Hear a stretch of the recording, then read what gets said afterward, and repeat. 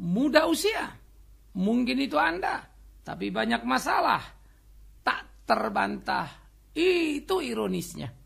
Karena itu memang menjadi amat sangat menyedihkan ketika menemukan banyak orang-orang muda yang sangat energik tetapi sudah menciptakan masalah yang sangat banyak, lebih banyak dari usianya. Masalah-masalah yang berat yang terlalu mengerikan yang menjadi kegelapan untuk masa depannya. Hai para pemuda, muda usiamu, jangan banyak masalahmu, tapi sebaliknya, banyaklah dalam berkarya, karena itulah yang semestinya.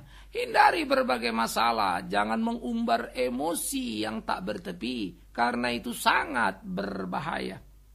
Kemudahan dan darah muda tak boleh menjadi alasan salah untuk sebuah harga diri yang tak jelas sehingga akhirnya mempertahankan yang tak perlu dipertahankan, menghabisi yang tak perlu dihabisi, sehingga kesalahan demi kesalahan menumpuk menjadi masalah yang sangat mengerikan, menimpa seluruh kehidupan, menghapus jejak langkah yang ada, mengaburkan jalan di depan.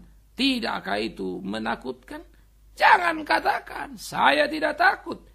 Engkau pemuda sering kali berbicara, memang tak melihat jauh ke depan, membuat kau kehilangan bijaksana. Jangan malu untuk bertanya, karena bertanya akan menyelamatkan. Ayunkan langkah dalam belajar dan jangan pernah berhenti, karena hanya dengan itulah engkau bisa terhindar dari masalah. Maka akan banyak hal yang bisa kau kerjakan di kehidupan.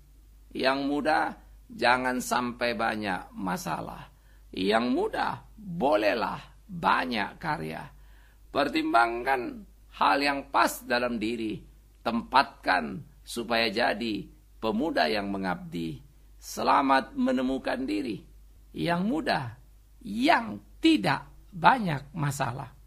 Bersama saya, Bigman Siraib.